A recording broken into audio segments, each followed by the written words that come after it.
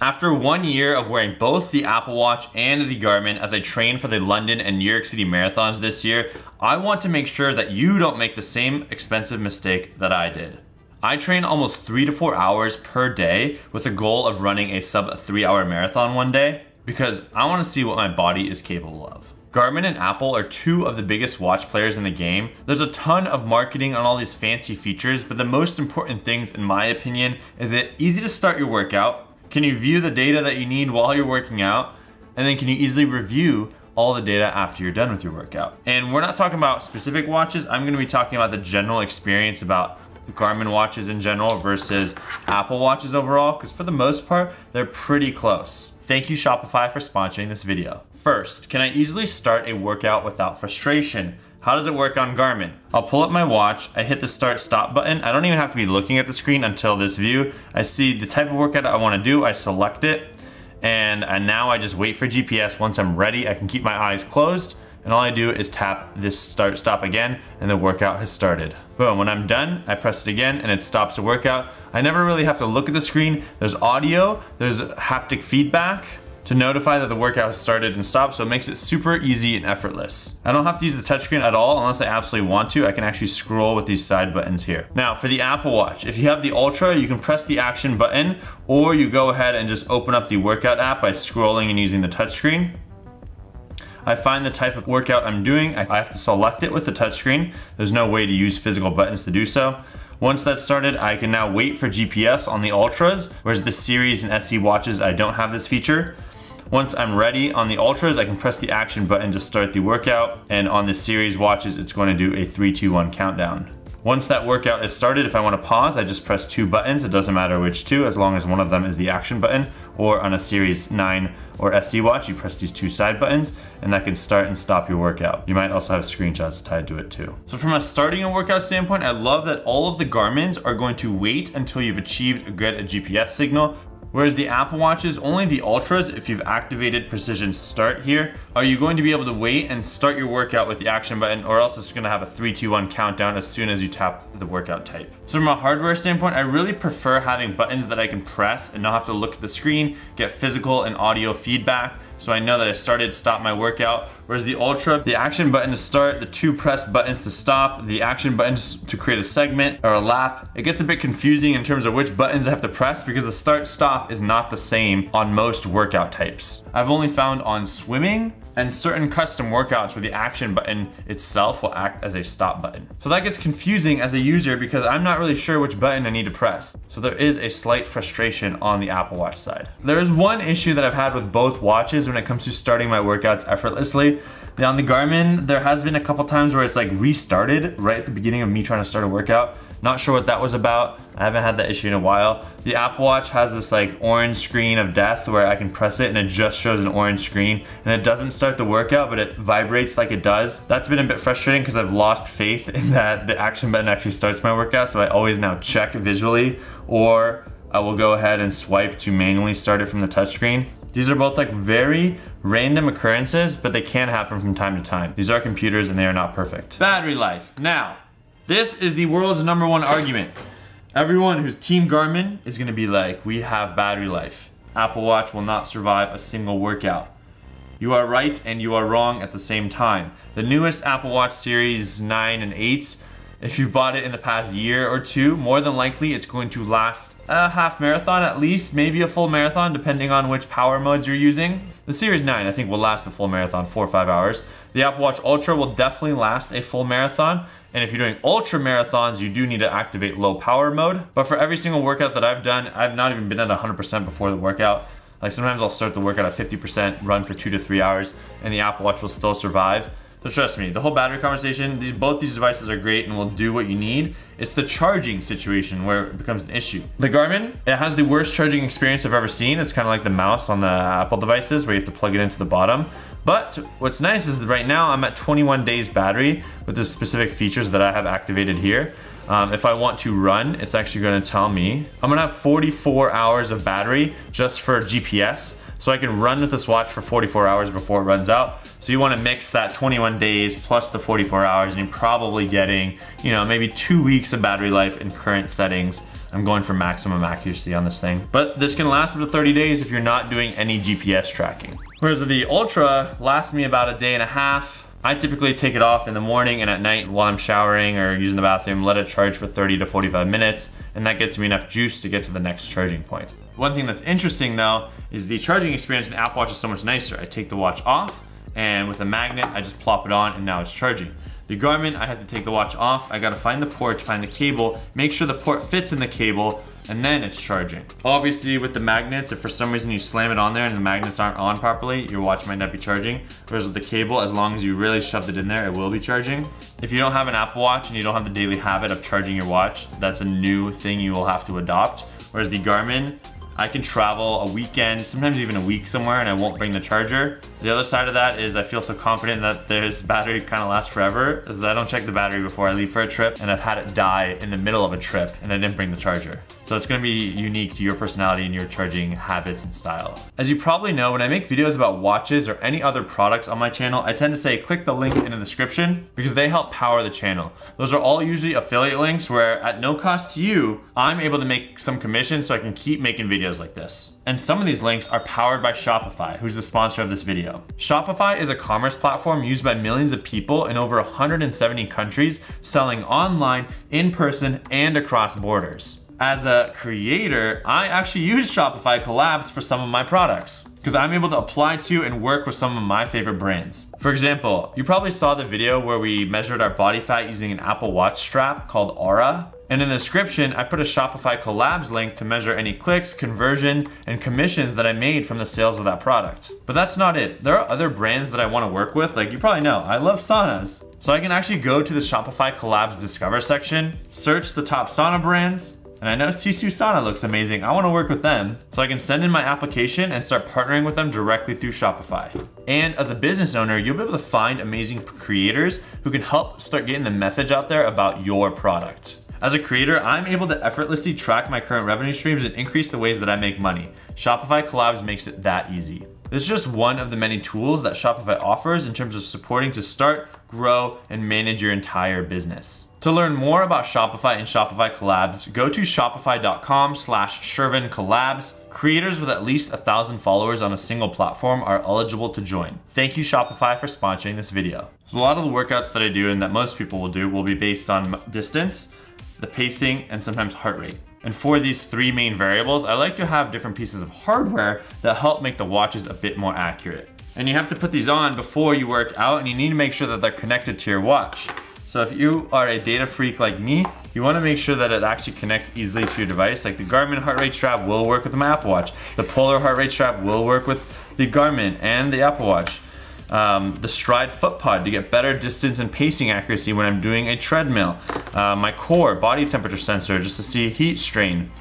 All these devices I like to connect before I go on my run. On the Garmin, you can see that there's a flashing heart, a flashing shoe, and a flashing M2. Those are my three external devices. So as soon as I start the workout, I can see is that device connected or not. I'm missing two of those devices.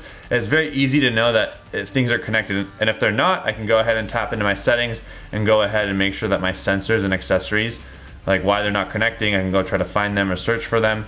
Whereas on the Apple Watch, as soon as I start the workout, I have no idea. So every time I run and I wanna make sure that my heart rate monitor's uh, connected, I have to go to the home screen, I have to use the touch button, I have to then go to settings and then go to Bluetooth, scroll all the way to the bottom because that's where health devices are, find my heart rate monitors, and if it says not connected, I have to tap that so, so it shows connected. Because I have no idea if it's actually connected right before my run, and it doesn't show it on the workout screen. So that's one of the downsides of the Apple Watch when you're trying to use external devices. The second piece is foot pods. The Apple Watch does natively support the Stride foot pod inside of their workout app. So I have to load up the Stride workout app on my Apple Watch instead of the native workout app. So I don't use the action button. I'd scroll down, find Stride, and then I can select run. I could do an open run and it could be indoors and now I just need to make sure. So I'd go to treadmill run if I'm doing an indoor run, open workout, and then I just need to connect my stride to the watch to get it going. And I'm just gonna get different data screens, different information is gonna get documented and recorded. For indoor workouts, it uses the stride as the distance and pacing.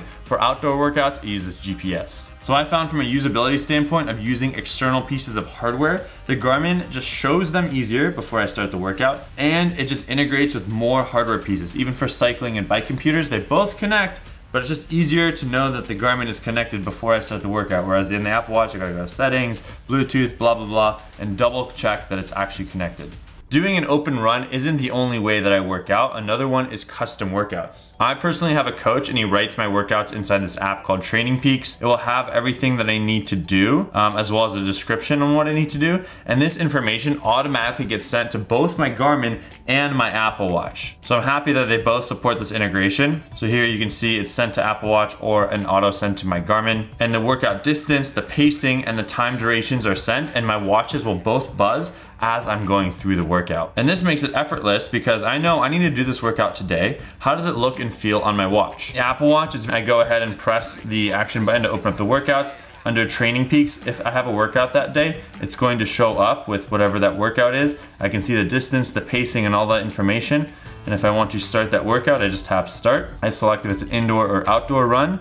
Typically I'm running outdoors and then it's actually going to guide me through the workout as I do it. On the Apple Watch, it's very focused on the actual distance. So the information that I get to see here is purely the distance. The one downside of the Apple Watch is that I only really get to see the distance left for that segment of the workout. Whereas the Garmin, I think does it a little bit better. So on the Garmin, I would do the same thing. I'd go ahead to my run. If I have a workout that day, it's gonna say, hey, you have a workout today. Would you like to do it? But since I don't, I'm actually going to go training calendar, you can find a workout that has some information in it, like five miles of strides. I would select do workout, and now the workout is loaded onto my watch. When I start the workout on Garmin, the one advantage that I think it has is I have a specific pace I need to follow for this, and it's actually gonna show my pacing right here. It's saying, hey, you need to be within that 757 to 10 minute pace, and it's kind of like a dial. It's very visually easy to see that information while I'm running. It'll also send me notifications if I'm within that pace or what that pace for that segment needs to be. The buttons aren't perfect. I guess Garmin is a bit slow to react, which can be a bit frustrating if you're moving very fast, whereas the Apple Watch tends to be a bit faster. So on the Apple Watch, if I start the workout, it's gonna show me the paces that I need to see only at the beginning. So that's a bit frustrating because now that I'm running, I don't really know what the pace I need to be at for this segment is. Um, and if I tap the next interval, I can see, all right, three miles at 605 to 640 pace, but I honestly don't know if I'm within that pace. I have to kind of memorize that piece of information for all three miles. Whereas on the Garmin, I can kind of see a red and yellow zone. Um, and I will get notifications if I fall outside of that on both watches.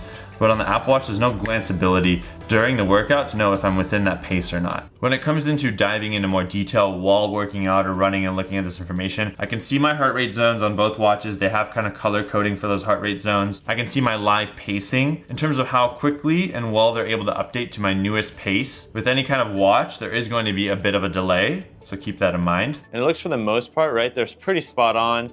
Uh, there's gonna be more smoothing. As you can see, the blue is the Apple Watch and the purple is the Garmin. So the, the Apple Watch just has more smoothing. Like these corners are rounded more, the lines are straighter, whereas the, the Garmin's gonna have like a little bit more jaggediness to it and that can impact your distance. Yeah, so this seems like there's nothing else on the pier, but there definitely is. Uh, I walked up and around this boardwalk. It looks like both watches put me in the water for a second. but Then I got back on the boardwalk, so still pretty close. So both of those conditions, once again, yep, right here, the Apple Watch decided to cut corners and put me through the water. So if you add that up over multiple miles and multiple piers, oh, cut corner around this pier too. See, this is where the 20 mile run where I lost almost half a mile of distance on the Apple Watch and I didn't actually finish a full 20 miles. But for the most part, I've noticed that they're very on par to each other while I'm running. It's only on the treadmill that they can be drastically different. And overall distances, for the most part, they're good in a good GPS area and if my software is up to date. And time, watches are best at tracking time. You are going to have very consistent seconds, hours, minutes on both watches. And the plus addition is the Garmin does do rep counting. So if you're doing any kind of weightlifting, you can count your reps in the gym. It does require a bit more of a setup process, so I just never use that feature. There are some apps on the App Store in the Apple Watch will do automatic rep counting as well. Same thing, setup process, friction points. I don't use either. Now that we've finished the workout, what is the user experience like? Both watches will display your distance, your average pace of the entire run, elevation, the temperature of that day, sometimes power and some other advanced metrics as well. The Apple Watch, I can go ahead and just scroll once I finish my workout to see that information. And then the Garmin is going to kind of scroll on its own automatically through that stuff as well as show a visual map of where I've ran. So it's cool to sometimes take Instagram photos of that visual map on the Garmin and, and post that. Whereas the Apple Watch, it's just showing text. Now, if you're doing any kind of heart rate based training, I prefer using a chest heart rate strap. The Garmin and Polar are pretty good. They're actually very good, some of the best. They're going to use electrical signals from your heart to tell you your heart rate. They will update the fastest in terms of giving your, your current heart rate at that time, whereas watches will be using light and algorithms to guess your heart rate, and they're pretty good at getting close. If you've watched videos from the Quantified Scientist, DesFit, DC Rainmaker, especially Rob, the Quantified Scientist, he shows that the Apple Watches, when it comes to heart rate accuracy, are some of the best. Just note that they're gonna lag behind and be a little bit slower, especially when doing any kind of workout where your heart rate is fluctuating a lot, but steady state workouts with little movement, you'll get some of the best information, like cycling. But when I am running and I'm trying to do very specific heart rate zone workouts, I will wear these. You just need to make sure to get them wet on both sides and then connect via Bluetooth or ANT. But I've found for the most part, the heart rates are pretty close to one another. It does depend on your skin color, the tightness, skin perfusion based on the weather that day. If you have tattoos, they will most likely not work. So this is your next best alternative. Wear this and you'll just override the heart rate data and get very accurate information. What's the experience like when I'm actually working out and can I view the data that I need while I'm running, swimming, cycling? I would say, I would argue that running is probably the hardest workout to actually look at things like your watch or your phone because you're just moving up and down, whereas biking, you're more stable and swimming, you kind of have to stop on the wall to look at your watch. And weightlifting, it's much, much easier than everything else. So running, it's the hardest. I want to be able to quickly absorb information while I'm running. And I've noticed when I have custom workouts on the Garmin and I have that barometer of like the reds on the sides and the green in the middle, it's much easier now. am I hitting my pace? Am I within my heart rate zone? From that just visual color perspective, where I don't have to kind of like really read the information, I can glance and know what's going on. The Apple Watch doesn't have that good of a feature. It has like a pacing feature, but it's specific to the pace of your entire workout, not to that segment of your custom workout. And the heart rate zones on the Apple Watch are pretty nice because I can know the color shade that I'm in, but sometimes those square blocks are a little too small, so when you're running, you might not be able to tell which heart rate zone you're in. So from a glanceability, the Garmin wins. But when I want to get more detailed information, they both offer the ability to customize your data screens, customize the number of data screens. On the Garmin, I can press buttons without looking at the screen and go through my different data screens.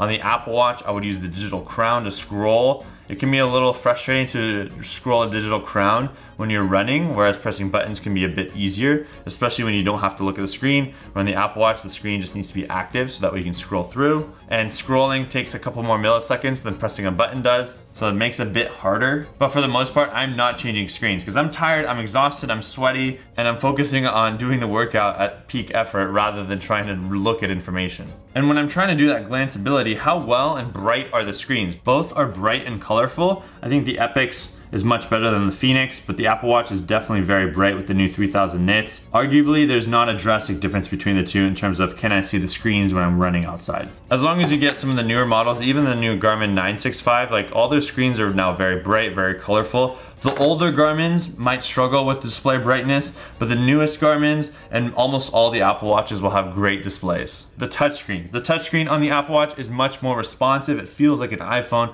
whereas in the Garmin, there is just a slight lag. It feels kind of like an Android.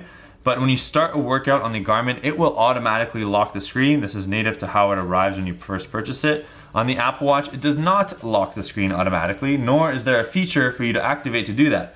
Me, as a sweaty male man who sometimes wears long sleeves in the winter, that long sleeve, as well as my sweat, can stop the workout, pause the workout, end the workout, change my data screens. So I've learned anytime that I'm working out, a big thing to do is turn on the water lock. I press the control center, I turn on water lock, and now the screen, I can't touch it, I can't do anything with it, but all my buttons on the Apple Watch work. So I can still scroll, right? I can't use the touch screen, but I can use the digital crown, and I can use the action button. So I can start, stop, pause workouts, and I'm not actually using the screen. So that's just one thing where I have to kind of remember to turn on the water lock. I did a half marathon race once where I forgot to turn on the water lock. I was sweating, I had long sleeves on, and it stopped my workout. And I was looking at my watch to see my pace, and there was no workout running, and I was like, no, my Strava is not gonna show a full 13 miles. I'm gonna have a six mile and then like a four mile. I was a bit disappointed. Ever since then, I always wear two watches now to have some redundancy. And then because I have worked out, right, I have to think about the straps and the sweats. Always take your watches off, dry them. Like, look at all that. Like, look at that sweat. That's just from sitting here in this hot room right now. You wanna make sure that not only you check out your watch hands, but also that you're, you're allowing your skin to breathe. It can be pretty bad if you're always wearing your watch and you're not allowing it to be, breathe and moisture is building up, you can get different things on your skin. So take these watches off, wear bands that are breathable. Like this Ocean band has some bumps, so there's just more air that can go through and, and water can evaporate.